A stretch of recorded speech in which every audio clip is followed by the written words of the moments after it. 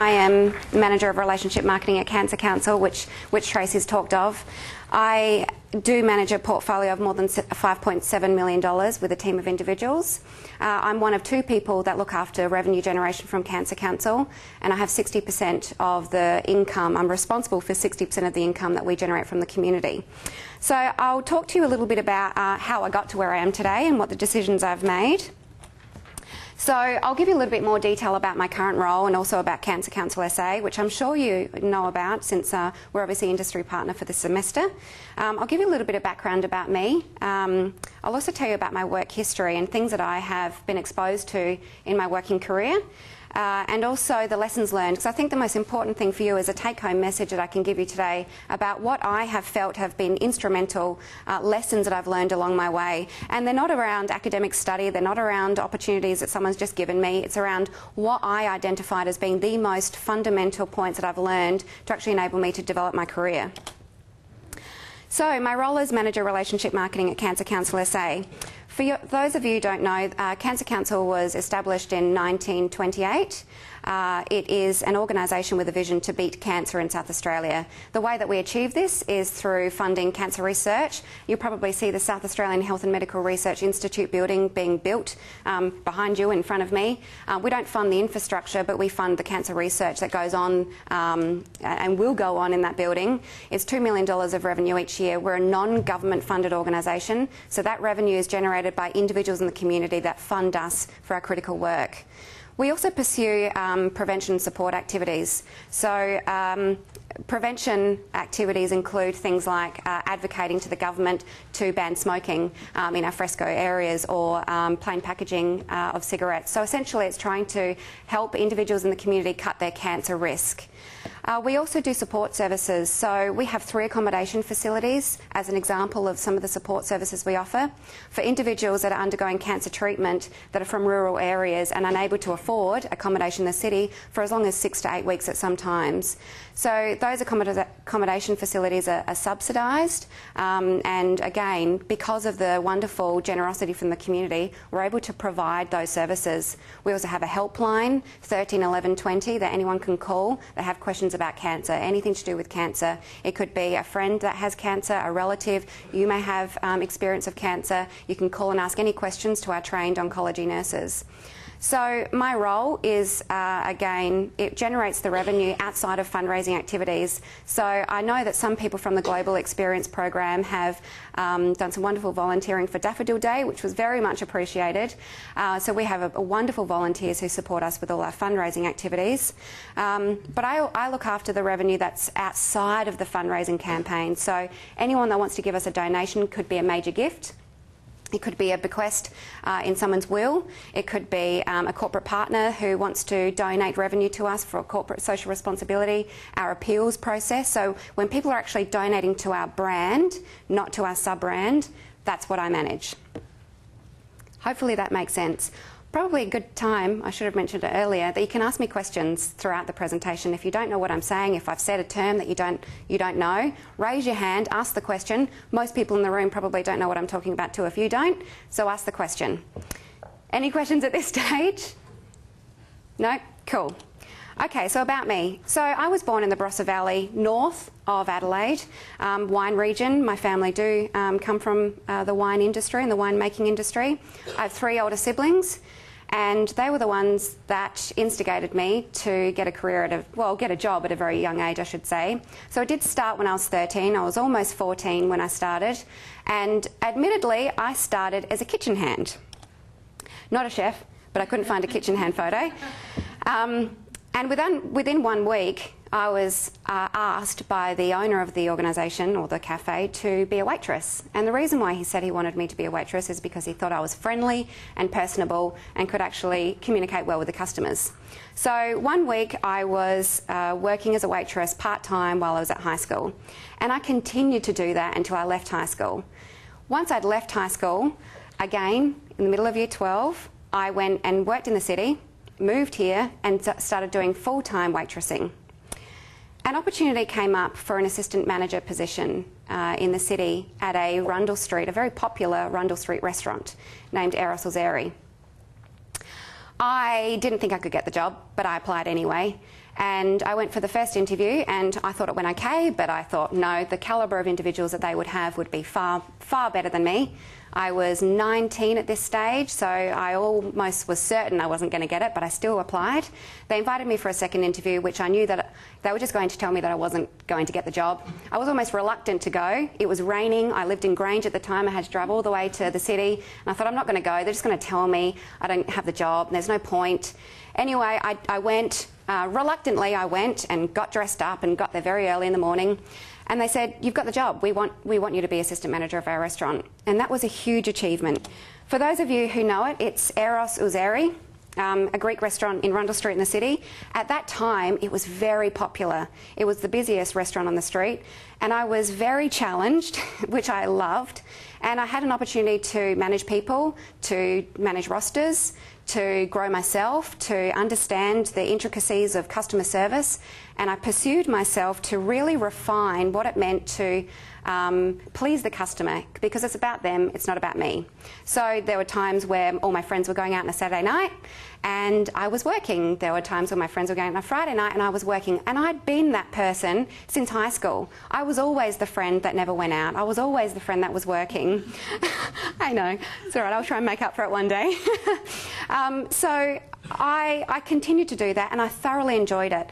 This was the first time I had an opportunity at Eros to also do some extra uh, curricular activities. They enrolled me into a Certificate 3 in Frontline Management, which was very fitting for what I wanted to do. So that was the first time I actually did any formal qualifications after I left high school. So I did the Certificate 3, I thoroughly enjoyed that, and I think that's what probably gave me the passion um, and the hunger to learn more, but more about that later. So after two years of, of assistant managing the restaurant at Eros, I started getting a little bit anxious. I was worried that I was going to be in hospitality for the rest of my life. I knew that's not what I wanted. I wanted to gain a lot more experience and exposure. I wanted to get out of hospitality. I knew that. I didn't not, I knew that I didn't want to be in hospitality. So what I did is talk to people. So I met, I know that you have a subject on this, so I'm not going to go into too much detail, but it was fundamental in my career, so I'll just briefly touch on this. Um, I started talking to people that I'd met through the restaurant, customers, friends that I'd had in the past, um, and just spoke to them about the fact that I wanted to get out of hospitality, but I didn't know what to do. I didn't understand what my skill set was. I knew I could talk to people, I knew I liked people, I knew I was good at upselling, but I didn't know how I was going to apply that to another industry outside of hospitality. So, through making contacts, someone suggested sales. I think you'd be really good at sales. And I thought, mm, okay, well, yeah, maybe, but how do I how do I get into that industry? So this one particular person uh, introduced me to his friend who was in aftermarket sales, so selling car accessories like spoilers, tinting, tinted windows, cruise control, side skirts for anyone knows what that means, big rims, tyres, making cars look good essentially. Um, someone introduced me to a person that was in aftermarket and she said you've got to get into aftermarket. It's phenomenal. You'd be great at it. The earning capacity is huge. There are huge opportunities. You should do it. And i went oh okay great. She introduced me to somebody and i got an opportunity to work in aftermarket. I did not sell anything like this. But I did sell. I did not sell anything like this, unfortunately. Um, but I did have a 100% sell through ratio most weeks, which means that every single customer that purchased a car from the dealership I was working at purchased from me, whether it be tinting, cruise control, side skirts, whatever it is, they purchased something from me. So I knew that, yes, selling was probably something I was pretty good at. I enjoyed it. I loved interacting with customers. So I knew that from, from my hospitality experience. But I was also good at selling stuff. This is great, I thought. But that was short lived because I suddenly realised the car dealership culture was not for me. It was not the environment I wanted to be in. And also, when my friend was talking to me about those opportunities that she's experienced in aftermarket, were actually not what I was wanting from opportunities in my life. She was talking about earning earnings. I was talking about career development. How can I continue to pursue my, my career and work my way up the corporate ladder? So I, I coincidentally received a phone call from uh, one of the contacts I'd made at Eros. He was a customer, and he'd always asked me to go and work uh, for him in the business he was working at. And I'd always said no for some unknown reason. And then he called me and said, We have an opportunity. Would you like to seize it? And I said, I was a little bit arrogant at the time, admittedly, and I said, I'm happy to hear a proposal. Because I knew my earning capacity here apparently was amazing, but I knew that the culture wasn't that good, so I wasn't sure. So I went and met with him. I thought, well, why not? It's good to have that contact, it's good to make that connection. I'll go. So we had a coffee, and he told me about an opportunity at Entertainment Book, um, which is the number one dining guide in Australia. And that's how I started there. So I'll just explain for those of you that don't know. Entertainment Book, again, the number one dining guide in Australia. It actually has a lot of offers for restaurants and leisure activities, 50% and 25% off uh, in South Australia. So my role initially was account manager, looking after merchants, so individuals in the book. So this was a really good opportunity for me that I was very excited about, and I'm very pleased that I made the decision to go and try it and see what it's like and pursue something. So this, this is where I got exposure from a sales perspective, but also incorporated marketing and some management. So I knew from when I started at entertainment that this was a great uh, business for me to be able to pursue my career. Even though it had limited staff in Adelaide, I think there was about 10 at the time, there were offices around Australia that I could potentially pursue careers in. But from the day one, I recognised that the role I wanted was actually my boss's role, Merchant Services Manager. and I did what I know best, and I, I basically befriended him, and he was my mentor for a whole year. I went out with him, I listened to him, I understood what he was trying to achieve, I, look, I learned from his mistakes, I adapted his strengths and skills to suit me, and he was offered a, another job a year later.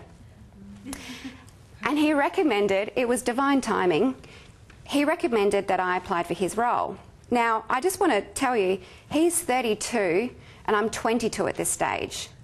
So, in my mind, not a chance would I get this role. But again, a bit like Eros assistant manager, I applied for it and I got it which was a huge achievement for me. In fact, I was the first female ever to be promoted to, national, to Merchant Services Manager nationally. So it was very exciting, and I was 22, and I, I remember celebrating when you get, like when you get a high distinction. I remember celebrating and standing at the bar saying to my friend, I cannot believe I'm here. I honestly thought I'd get here in five years' time, not today. I can't believe it. And he said to me, What did you do? Well, how did you do this? I said, I just made friends with people. I made friends, I worked very hard, and I refined my skills, and I continuously developed myself. So I was there for another three years working as merchant services manager, and when I say I was exposed to the management side of things, I was uh, uh, developing the account managers, which I formerly was, to help them um, learn some of the skills of a, of a merchant services manager thoroughly enjoyed that, but I started thinking that I needed a new challenge. I was good at it now. I got to the point where I was very good at what I did, but I wasn't being challenged. I wasn't actually getting any new skill set. So I, I made a decision to move to London. And I made that decision, I think it was within 48 or 72 hours or something, and I bought a ticket and said, I'm leaving in six weeks' time, and it's a one way ticket. And everyone tried to talk me out of it, even though I'd already bought the ticket. So there's no point talking me out of it. And I thought, no, this is what I need to do. I need to go now when I'm young, when I can get a working holiday visa, and when I can actually experience a whole bunch of things that I know deep down that I need to do. London was not as exciting as I anticipated to begin with. It was very, very, very hard. There were many times where I was almost homeless, where I had absolutely no money, I did put a picture in about that. and it was very scary. And I remember my family saying to me, We will pay for you to come home because this is, this is ridiculous. And my answer was, That is too easy. It's too easy to get on a plane and go home and be at home with mum and dad and start again in my mind. So I pursued, and six months later, there was a job that came up at a brand consultancy called Quiet Room. I did have some temporary jobs in between there, I will tell you that. Um, I had to somehow not get on the street. Um, so I did have some jobs and some, some form of income coming in. Um, but I finally found a job at Quiet Room, which I couldn't do again. Um, the name, the role was project manager. So Quiet Room were a growing agency. They worked with uh, government and banks to help them develop their brand language. Uh, so essentially, they, they consulted with them, they helped them develop all their marketing literature um, to communicate with their audiences, essentially. So you can see here, we worked with Her Majesty's Revenue and Customs, um, AXA, Prudential, Halifax Bank of Scotland. So I applied for the role and met the managing director. And he said, This is a very intense job. We're a growing organisation, and we actually need someone to manage one of our biggest clients, which is Fortis Bank. And I said, Yep, I totally understand that. And I can do it. I promise you, I can do it. I have the determination. I've got skills within entertainment publications where I manage the number one entertainment book in South Australia or in Australia. I have had customer service skills. I know I have a capacity to manage a large workload. I can do this. Admittedly, he did take a chance because it was a growing business, it was his main client. If I didn't do the job very well, they would have gone into receivership. So he took a chance with me. And I managed Fortis uh, project, which was incredibly exciting. Um, my husband wanted me to tell you this next bit, but I said I wouldn't, but now I'm going to. Um, the very first week that I started at Quiet Room, I had a, I held a meeting at Fortis Bank, and it was in the boardroom. There were directors uh, from Fortis Bank there. There were researchers from Quadrangle, who was a research and development organisation, and their managing partners. My two managers, uh, owners of the organisation were there, and a couple of uh, com- uh, compliance and underwriters. And I held this meeting about how we're going to execute this project. And after I finished, the, the partner at Quadrangle, the research company, said to my boss, I want Kate. How do I get her? He goes, You can't have her, she's mine. And I think the reason why they said that is because I basically went in and did the one thing I didn't know how to do, which was hold a meeting with executives and tell them about how I was going to manage this project. And I did it based on what I knew best, and it was around delivering to the customer's expectations, which I've done since day one. So this was a very successful project. I ended up delivering from what was going to be 250 um, thousand pounds project to 750,000 pounds. And the reason I think I was about 23 or 4 at this stage. And the reason why um, I could do that is because I identified opportunities where they could maximise what they were doing. So they were delivering a project project deliverables of about 45 items. That increased to about 250 items, hence why the in- increase in revenue so much. Uh, thoroughly enjoyed that role. I got a lot of learnings. I managed uh, a team of copywriters. I was exposed to communication skills that people would dream of. They were just absolutely brilliant people. A lot of them are artists. You've probably seen them on telly um, acting. They all are very uh, professional and fun and goal orientated. So I managed them and I managed these projects. We ended up managing about 27 projects simultaneously. And I was very tired by the end of it. Uh, the, the business trebled in size and I had the opportunity to actually work on the business. So we were looking at the financials of the business. We were understanding how to roll out the business to grow in size, how to influence the culture, uh, that was a very exciting opportunity, and I did it at a very young age, and I really enjoyed it, and that was fundamental to my career development. Then I met my husband. At the time, I was at Quiet Room. I should mention, Quiet Room actually paid to sponsor me to stay in the country so I could work with them longer. Um, so I was there for in total two years working for Quiet Room, uh, which I thoroughly enjoyed. But I met my husband, and it was a time where the GFC happened uh, that we were we, we, had plans to stay there, but the GFC happened. There's a lot of financial uncertainty, there's a lot of economic uncertainty. We were uncertain about his role, my role, I was uncertain about. That They were, they were a growing business, but when the GFC hit, a lot of people were made redundant. So we made the decision to come home to Australia and get married and stay here and live. Uh, at that time, it was August, I believe, uh, we had a lot of job cuts at Quiet Room, as did every other organisation. So it was very pertinent timing that we did that. But then um, it took me six months to find another job again. Uh, and again, it's because I really want to choose the right jobs. I don't want any job. I was offered two jobs and I turned them down because I knew that I it wasn't on my career path. I shouldn't choose something just because I get an opportunity to. It had to be part of my career path. My friend recommended the not-for-profit sector, and my friend is the one that I used to work with at Entertainment Publications. She was also working for a not-for-profit now and said, "Why don't you try and go into not-for-profit?" And so I chose a charity close to my heart, and they happened to have a role going for Senior Project Officer uh, at Cancer Council SA. So I started at Cancer Council SA and was very determined to grow in the business. Very quickly did I realise that there were a lot of academics. Remember, at this point, I've only done a Certificate 3 in Frontline Management and I only have experience. I have no academic qualifications that were good enough to suit Cancer Council and to progress at Cancer Council. There's a lot of doctors there, there's a lot of professors there, there's associate professors there, and I was kind of treading water. So I basically just threw myself into a lot of extra duties as well as what I, what I was intending to do. So I took on a lot of extra responsibilities that were around strategy um, as well as operational. Um, you did sort of say this, but what sort of level of uh, academic qualifications do they have? They have, PhDs? PhDs, right. yeah. And that's mainly because, yeah, all cancer researchers um, working upstairs, they've all got PhDs, they're doing lots of different things, yeah. MBAs. Uh, masters in business administration. Uh, yeah, yeah, right. yeah. So a lot of them were either pursuing it or they had already received their qualifications. We're an evidence-based organisation, and yeah, it was kind of pretty clear that I was um, I was needing to do something further.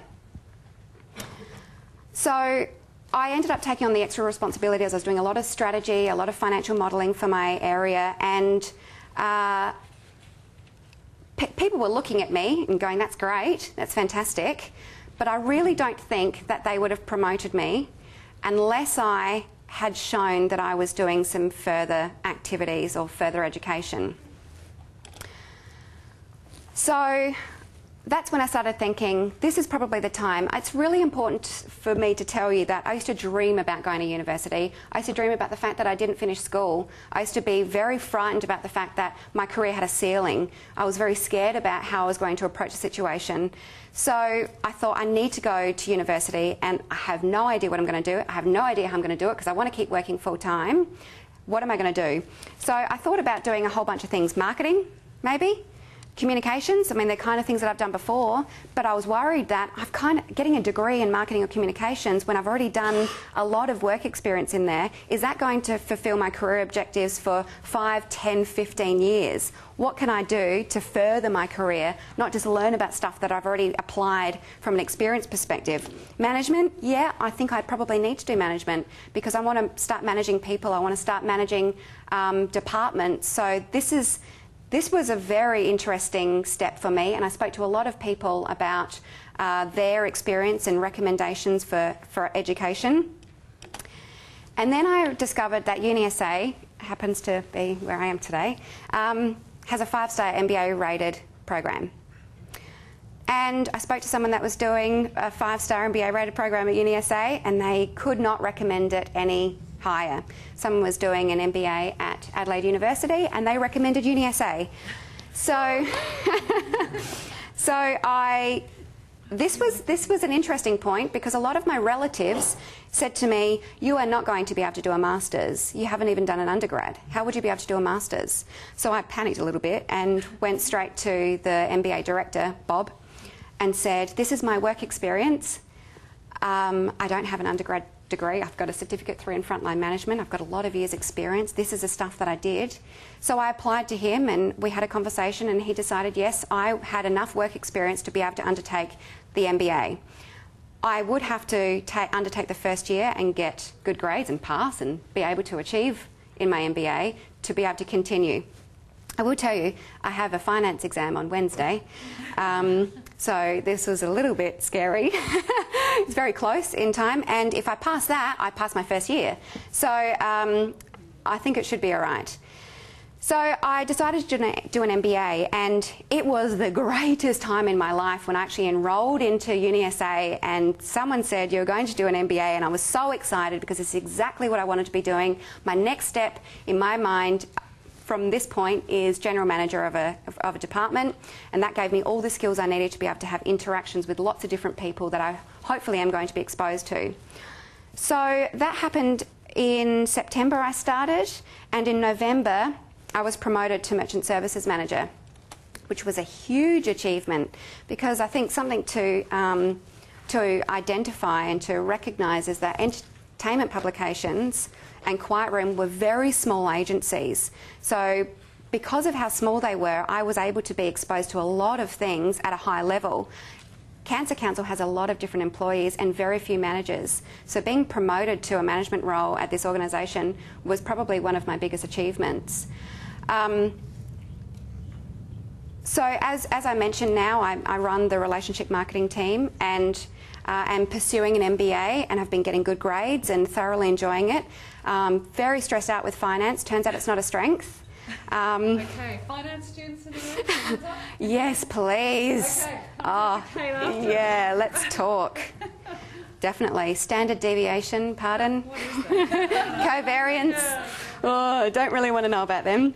But at least I can have meaningful conversations with finance managers at some point. Well, they can talk to me and I'll go, yeah, I remember doing something about net present value. Okay, thank you. So I guess you're probably wondering, well, what, what am I going to learn from your experience? And um, what can I apply from what you've told me. So, what I'm going to just run through is a couple of the key lessons that I've learned uh, along my way, and I've kind of identified in my life that these are the most important things that I've had. One, set goals. That's the first thing that I've done is I've set goals and they've been short and long-term goals. So as an example, uh, note noticing at Entertainment Publications that Merchant Services Manager role was the one that I wanted. That goal was five years' time and I got it within one year. So I had to change my goals.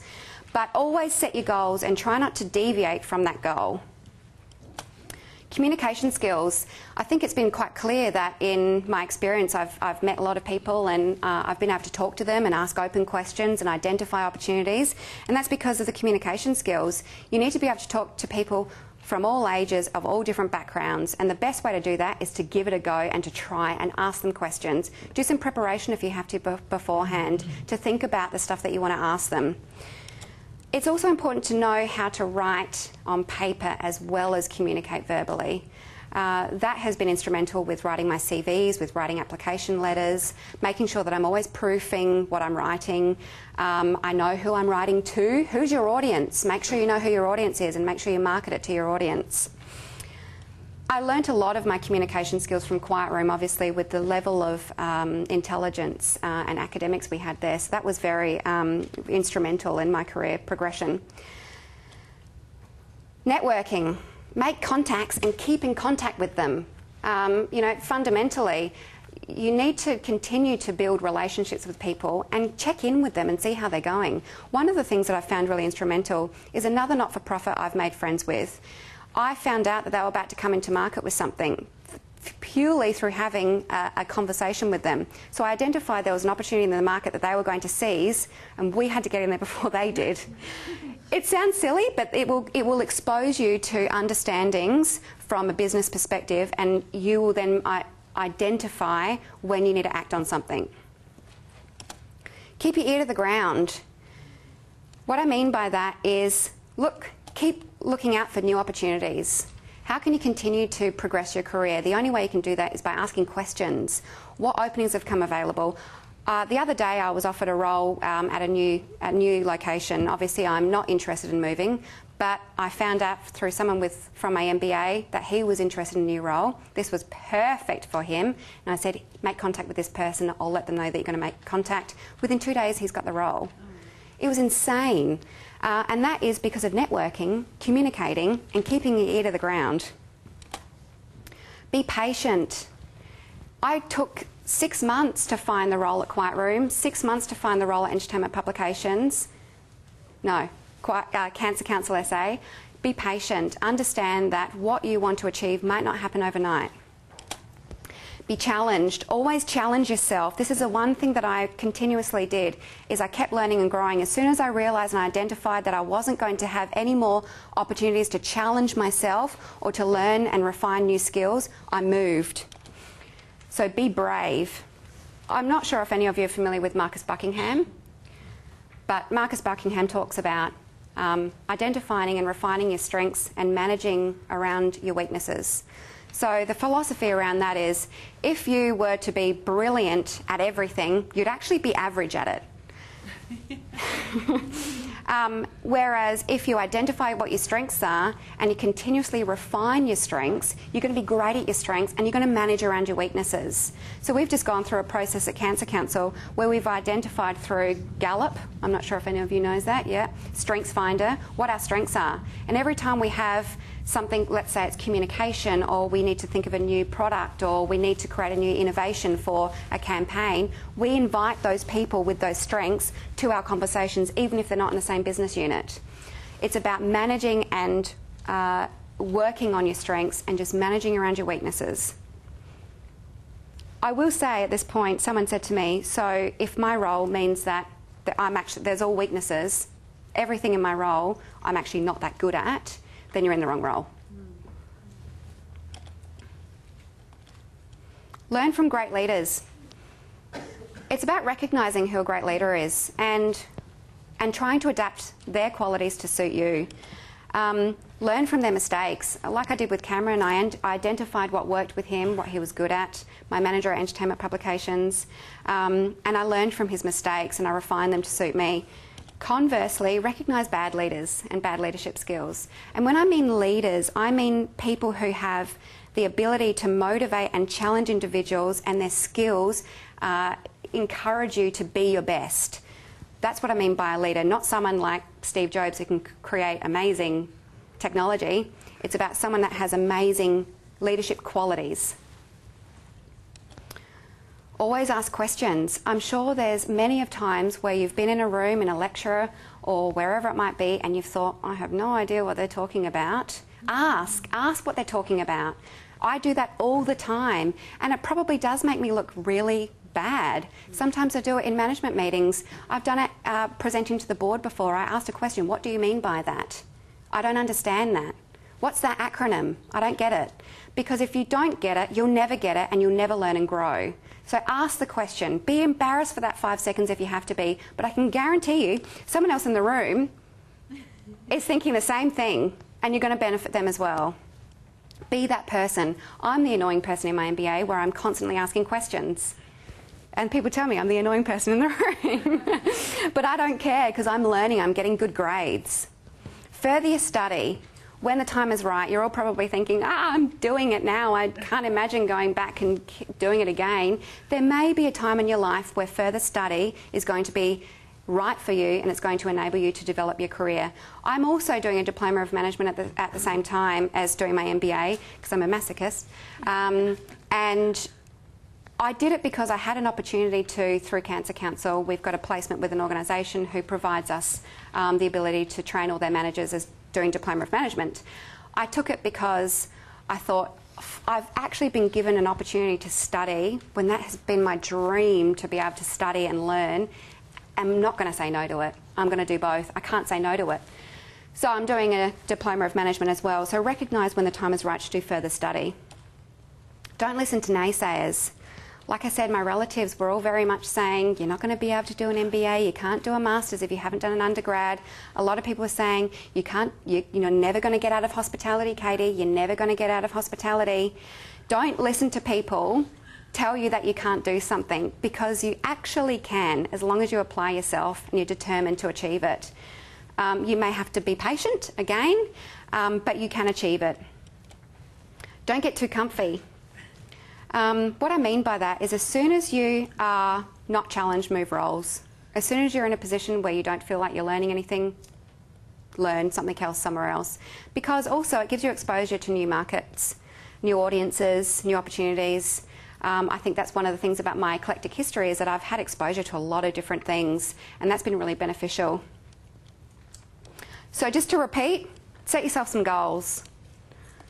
Communication skills are key Try and develop, develop them every day. Network, make friends, ask them how they are, ask them what they're doing, get involved in their life, and keep in contact with them. Be open to new opportunities. Um, be challenged. I mean, obviously, you're all doing this um, to challenge yourself and to give you new opportunities, which is fantastic. Refine your strengths and manage around your weaknesses. This one's very important. Really focus on what you are good at. And it may you may not know for a while, but try and identify that common thread that you have. Recognize great leaders and learn from them. This is really good. This is a thing that I think has been instrumental to me. Who is the person that I can learn from and identifying who I shouldn't be learning from. Always ask questions. Keep asking them. And further your study when the time is right. Don't listen to naysayers. You can do it. You can be whatever you want to be. Just pursue it. And don't get too comfortable. Obviously, I'm in a position now where I am middle management. I'm 30 years. I just turned 30 on Friday. Um, 30 years of age, sorry. I've just turned 30 on Friday. It is. Um, it, there is a lot more opportunities for me. I've, I've, not even scratched the surface of, of what I am uh, hoping to achieve in my life. So I hope that you'll be able to learn from what I've, what I've um, given you and shared with you today. Any questions? First, let's just clap.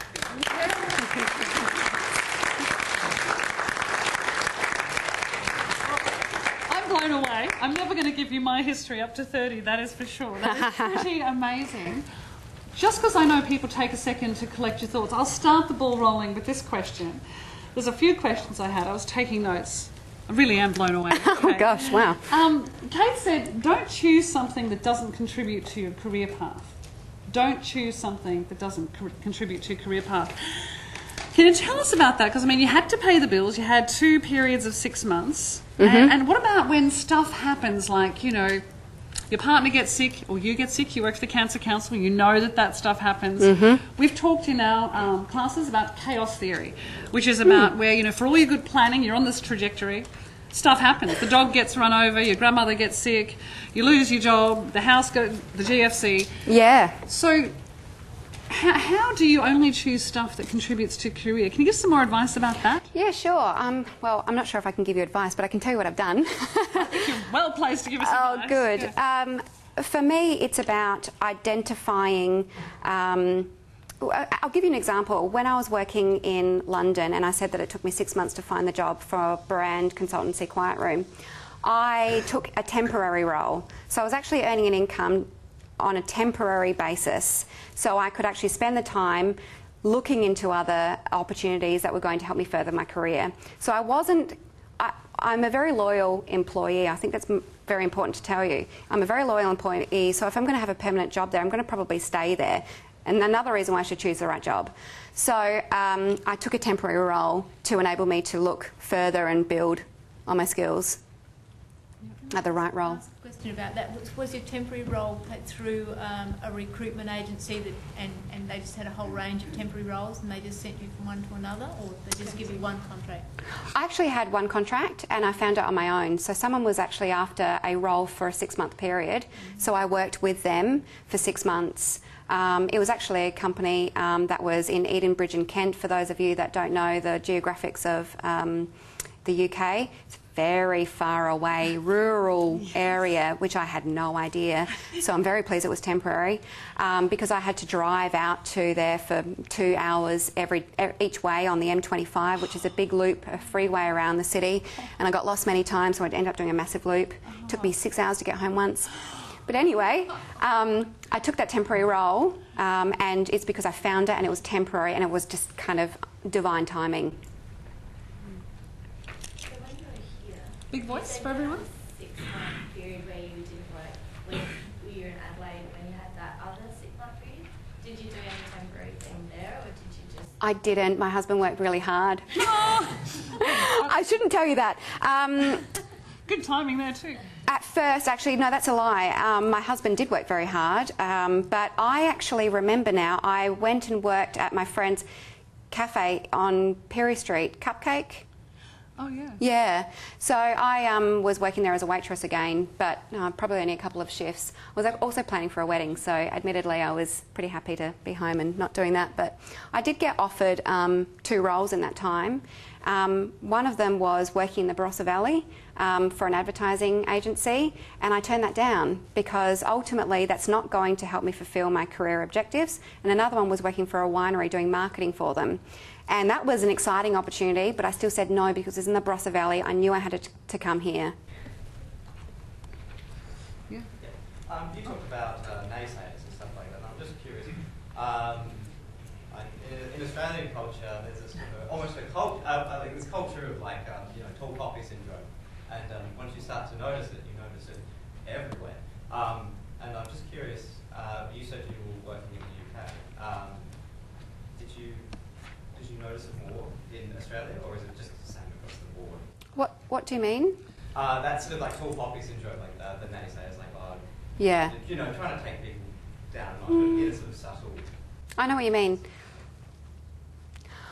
I was working for an ama- amazing agency, and I don't feel that I was ever exposed to that.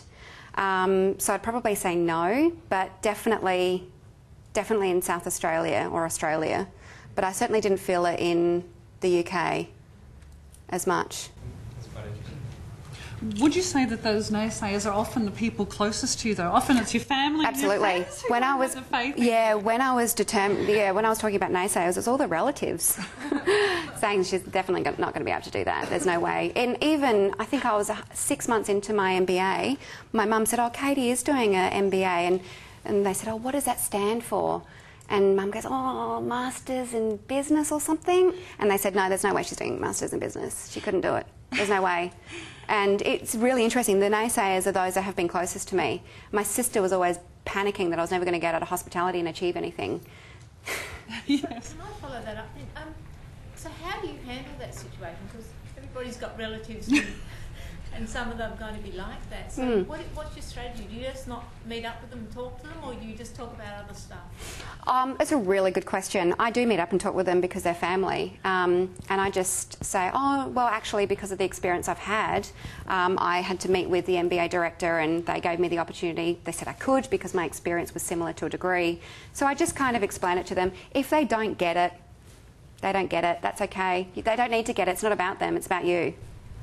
There was a question there. Yeah. Um, I just wanted to ask you, earlier in your career, you spent a lot of time in the private sector, and now obviously you're working in the not-for-profit sector.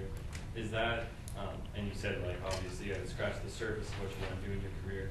Is the not-for-profit sector something that you would consider pursuing further? Really good question.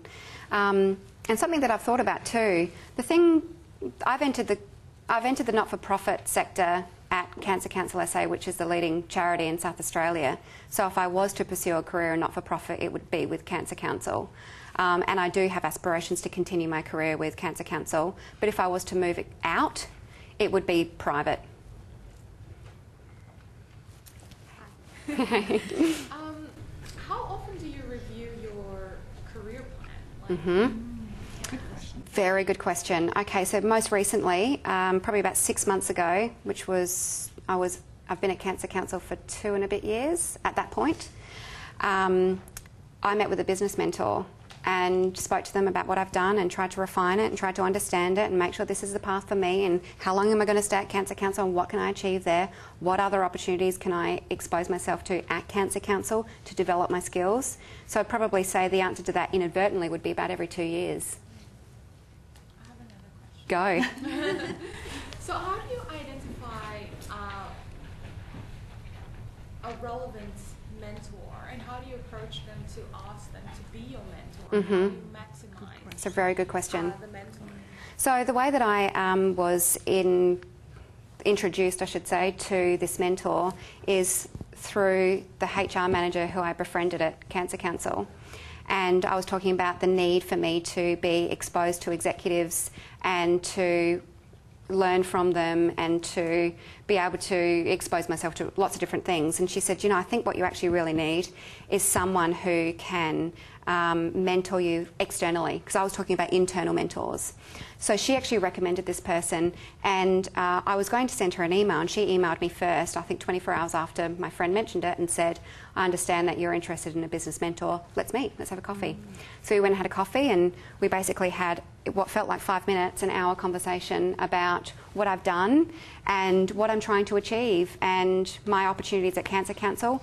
And she's helped me kind of establish myself in the role of relationship marketing manager. And in fact, it's given me the motivation to do a new strategy that I'm developing at the moment, which is cross organisational. Because she said, You've got an opportunity at Cancer Council, you're one of few managers, there's a lot of people there, there's a lot of opportunities, seize it. So I kind of went, Okay, I'll do it. So that's how I, yeah, networking, I guess. Mm, it's networking. Just, just on that point, if you are part of the Global Experience program, we have a mentorship mm. program. So you, you can apply. You can go online to the GE website. So if you're part of the program, not just the course, you're entitled to that mentoring service. But you have to apply, and it's competitive because you've got to be matched up with one of our industry partners. It might even be someone like Kate in the future. So keep that in mind if you're part mm. of the program. There was another question, I think. Yes. Yeah, when you said you went for the job at Eros and other places, you said you weren't equipped for the role. Was that based on the job description that was given, or? That's a really good question. I have a- that on my notebook. Did you? Yeah, that's a really good question. Um, I guess what I mean by wasn't equipped for the role is, in my mind, someone's going to want someone that has all the skills and experience that is transferable to that role. So essentially, I thought they'd want someone that's been doing it. I hadn't been doing it. I'd just been a waitress and I was okay at it. But um, you know, I, I looked at the role and I thought I've never been an assistant manager. I've never done rosters. I've never done managed managed a team of people. Um, but I know hospitality. I'm really good at customer service. Um, I'll apply for it. And I basically sold myself there. I told them what my passion was. I told them what I was interested in. I told them what my focus was. And in hospitality, my focus, especially going to that restaurant, was a sequence of service, is what I identified as, you know, how you treat a customer from the moment they come in the door to the moment they leave. And they recognise that, yeah, that's same as our philosophy. I think very much about um, selling yourself. I think Yeah. thing, and believing in yourself. I mean, as those things all go together. I had that question too. You know, Kate said two or three times, "I didn't think I could get the job, but I applied anyway." How do you get that confidence? You know, how do you brace yourself? Is there sort of any advice about, Yeah, especially when the naysayers are all around saying you can't do that? Yeah, I think for me, when I say, you know, I didn't think I could get the job, it's because I imagined how many people would be applying for it that had more experience potentially and more um, uh, education than, than I had. So, one of the things that I just learned from this business mentor, she said, if you're doing your CV and when you're doing your CV, you need to make sure you, you don't sell everything on paper, but you highlight some of your key things. So, for me, I was highlighting key things. First female to be promoted nationally, increased uh, Cancer Council net revenue by X, as an example. So, I think they're the most important things to do and to sell yourself. Um, how to stand out on a CV is all about, we spoke earlier, spell the name right. Ask if it's to Kate, if you're applying to me, Dear Kate. Not Mrs. Krieg, if that's not what I've got on there, Dear Kate. Um, and to just do a very short, sharp, punchy, how are you going to meet the expectations of the role? And that's it, and sell yourself when you're there.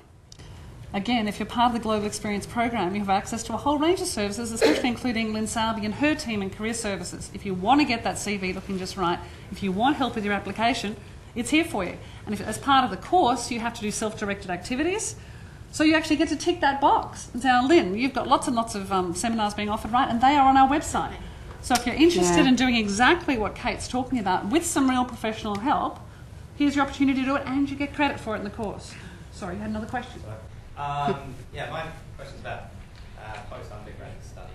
Um, and I- I'm sort of coming up to the end of my degree, and I'm sort of applying for graduate kind of positions. And I mean, I mean, I'll just say something about myself. I'm an environmental science, so I can appreciate that it's not your area. Yeah, yeah, thank you. Um, but if I'm, and I'm more of the mind that I'd rather go out and get into a graduate program than go and continue on and do honours or masters or something like that.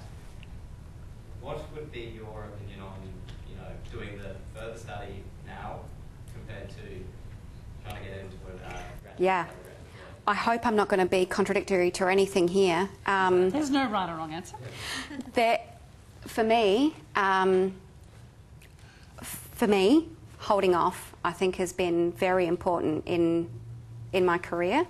Um, there is no way that I could have done an MBA, or as an example, or um, and and really understand what they were on about and really be able to apply it straight away. So I think for me, um, I would probably consider holding out and getting some work experience and then identifying a time in your life where you could start to introduce extra study.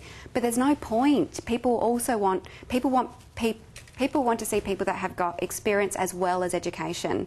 So if you can try and get the best learnings, I would probably hold off for a bit. Yeah, uh, that's what I'm doing towards. Yeah. Are you? Yeah, yeah. I think it's a good idea. I mean, someone said to me the other day, Oh, you're doing an MBA? Oh, I've just done my architecture degree and I'm thinking about doing an MBA. I said, Oh, where are you working? And he goes, I'm not. So I thought it would be a great time. no, don't do it. you're not Especially going for an MBA, is so Especially for an MBA, it's very practical. Yeah. You've got to do a lot of work um, and a lot of assignments around what you're applying in your workplace. It wouldn't be relevant. It wouldn't be suitable. And and some of it isn't about that. It might just be learnings. Um, but I wouldn't be able to even finance. I'm trying to understand finance, and I think, okay, I kind of understand that with my projects. I have to do financial modelling. What's the net present value today? I could only do that because of my experience. I think I think we might just hold off now because we have another 45 minutes or so to chat informally with Kate. Don't all mob her. Let her get out there and make sure she gets something to eat. She'll be going back to work and she won't have had time for lunch either. So we will go out and have something to eat and to drink and to network further with Kate. We do have a very small gift Oh. from the Global Experience Program. It's a compendium. Oh, lovely. So I hope you enjoy it. Thank you so it. much. Let's thank Kate once more. Thank you.